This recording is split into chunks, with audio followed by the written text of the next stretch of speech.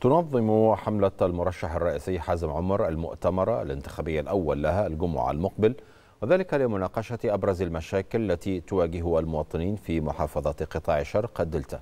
سيشهد المؤتمر طرح ومناقشة الحلول التي يقدمها البرنامج, البرنامج الانتخابي للمرشح لتلك المشكلات.